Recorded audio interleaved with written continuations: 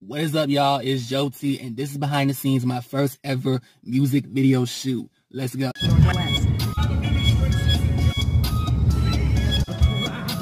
All right, we're here at the shoot, and this is Nick. Yeah, I'm vlogging. You want to say to the vlog? What's up? What's up, everybody? What's happening? What's happening? What's happening?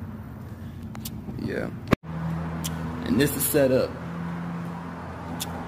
This is how we did it.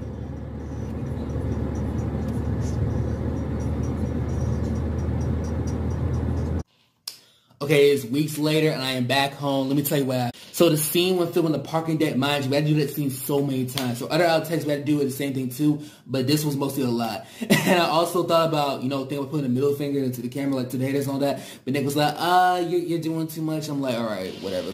But yeah, that was behind the scenes of my video shoot for Some HOMIEWARRIORGANG. And uh, yeah, that's it.